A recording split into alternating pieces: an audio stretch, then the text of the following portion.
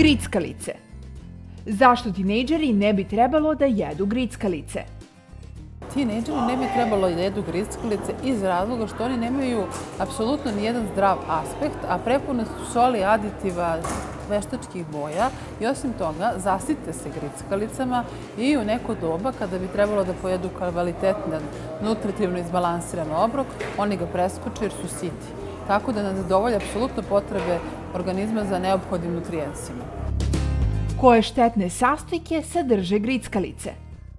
Štetni sastojci u grickalicama jesu pre svega veštačke boje, zatim puno masti, puno soli i e, poboljšivača ukusa. Kada se posmatra sve te e, komponente, nijedan nema ni jedan zdravstveni benefit po zdravlje, već suprotno imaju baš visoku kaloričnu vrednost. Koje namirnice mogu da zamene grickalice?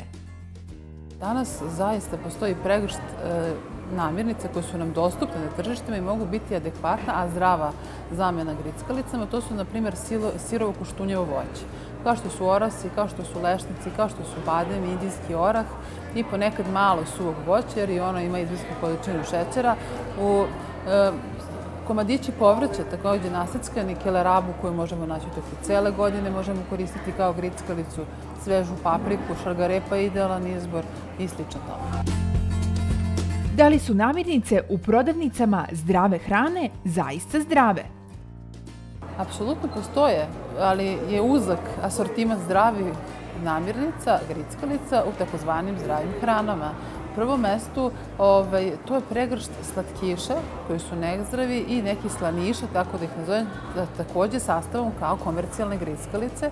Ono što je još loš aspekt u zdravim hranama, zašto tu ne kupovati, to je zato što je sve u otvorenom rinfuzu i pitanje je higijenskog aspekta. Da li postoje zdrave grickalice? Apsolutno postoje, pošto je trend zdrave ishrane zakucao na velika vrata i kod nas unatrag par godina. Pojavile su se, na primjer, e, zdrave sušene jabuke, takozvani čips od jabuke. U poslednje vreme je čips od kruške i uopšte sušeno voće, ali ono koje nema dodatak šećera u sebi.